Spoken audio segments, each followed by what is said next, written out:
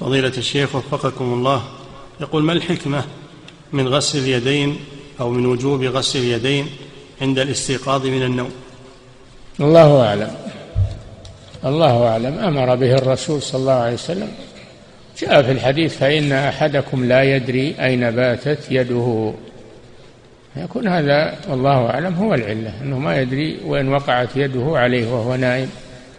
ربما تكون وقعت على فرجه ربما تكون وقعت على شيء نجس وما يدري ما عنده شعور.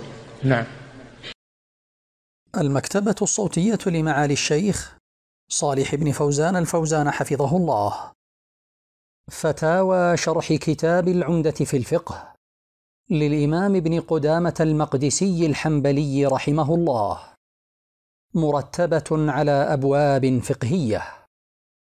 إعداد مشروع كبار العلماء بالكويت أعزها الله بالتوحيد والسنة.